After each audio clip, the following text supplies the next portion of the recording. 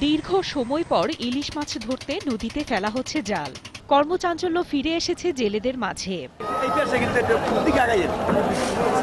ইলিশের উৎপাদন বৃদ্ধির লক্ষ্যে পয়লা অক্টোবর থেকে বাইশ অক্টোবর পর্যন্ত পদ্মা মেঘনা সহ সারা দেশের ছয়টি অভয়াশ্রম এলাকায় ইলিশ ধরা, বিক্রি ও পরিবহন নিষিদ্ধ করে মৎস্য অধিদপ্তর। মা ইলিশ রক্ষা কার্যক্রমে চাঁদপুর, বরিশাল, বরগুনা সহ বিভিন্ন এলাকার জেলেরা পালন করে নিষেধাজ্ঞা কর্মসূচি। সরকার আমাদের যে সাহায্য হতো আমাকে হয় না আমাকে কিস্তি আছে। অবরোধে আমাকে চলাফেরা করতে অনেক কষ্ট হয়েছে। আর বর্তমানে এখন মনে করেন আজকে ছুটি দিয়েছে আজকে আমরা জাল পাই আমাকে একটু শান্তি হবে। বাইশ দিন অলস সময় কাটানোর পর কাজে ফিরতে পেরে বেশ খুশি তারা। আমরা এতদিন অভিযান পালন করছি আজকের থেকে মাছ ধরা স্টার্ট করুম এখন আমরা সাগরে মেলা এই আমরা মাছ ধরতে। আজকে আমাদের মনে খুব আনন্দ। আজকে আমরা চলিয়ে যাব সাগরে। জেলেদের সহযোগিতায় এ কর্মসূচি সফল করা সম্ভব হয়েছে বলে জানিয়েছে মৎস্য বিভাগ।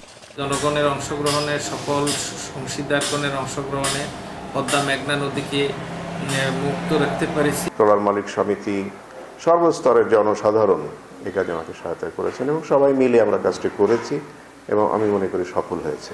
বাইশ দিনে জেল জরিমানার নানা খবর আর বেকার সময়ে জেলেদের সহায়তা না পাওয়ার অভিযোগ থাকলেও নিষেধাজ্ঞা কার্যক্রম সফল হওয়ায় আগামী বছর ইলিশের উৎপাদন আরও বাড়বে, এমনই প্রত্যাশা সংশ্লিষ্টদের। আফসানা নীলা, একুশে টেলিভিশন।